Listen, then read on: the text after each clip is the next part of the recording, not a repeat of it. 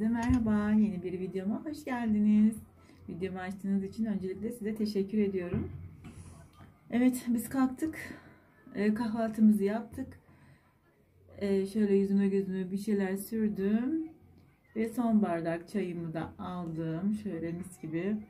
Oh. Hmm, bir yudum da içeyim. Kahvaltıdan sonra mutfağı topladım. Bulaşıkları yıkadım makineye yerleştirdim daha doğrusu. Ondan sonra dedim ki çayımız hazır taze ve sıcakken bir bardak daha içeyim. Böyle aldım çayımı geldim balkona. Anam bu çoluk çocuk ne zaman yiyorlar içiyorlar da sokaklara çıkıyorlar anlamadım. Baksana da şurası yine dolu bizim. Bizim tam balkonun önünde e, futbol sahası var. Hemen yanında basketbol sahası var. O yüzden çok fazla e, çocuk sesi oluyor. Yani çoluk gençler hep burada oluyor. Bu arka balkonum. Arka balkonda futbol sahası, basketbol sahası ikisi yan yana. Hemen e, oturma odası tarafında da çocuk parkı var. Yani evin iki tarafı da çocuk şeyleriyle dolu. O yüzden maşallah buralar bayağı bir hareketli yani. Sabah sabah ne zaman yediniz içtiniz de çıktınız gençler Vallahi bravo. Neyse gözüm onlara kayıyor kusura bakmayın.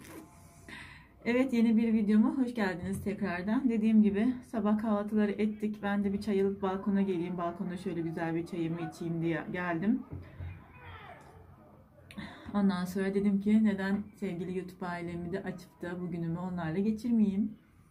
Değil mi ama? Nasılsınız? İnşallah iyisinizdir. Vallahi bizleri soracak olursanız iyiyiz. Evlerde öyle devam ediyoruz. Gerekmedikçe dışarı çıkmıyoruz. Hele zaten biliyorsunuz 18 gün kapanma vardı. Hiç dışarı çıkmadık 18 gün boyunca. Bundan bir önceki videomda görmüşsünüzdür. Bir markete gittim geldim ben sadece.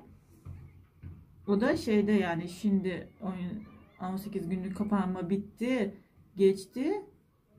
İşte dün dündü. Evet dün evvelsi gündü gittim yani. En azından bir 20-21 gündür biz hiç dışarıya çıkmadık. Gerçekten hiç dışarı çıkmadık yani.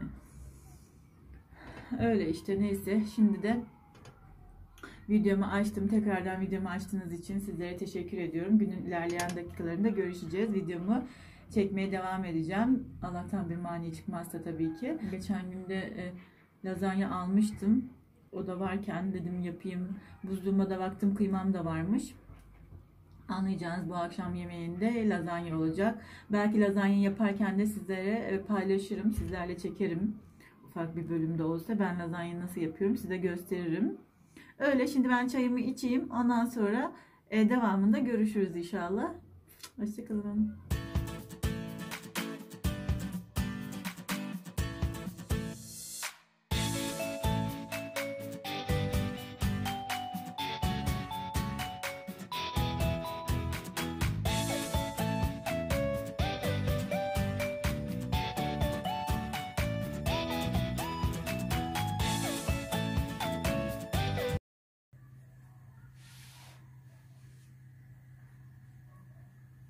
Evet lazanyamı yaparken göstereyim dedim. Şöyle soğanları ince ince güzelce doğradım ben arkadaşlar.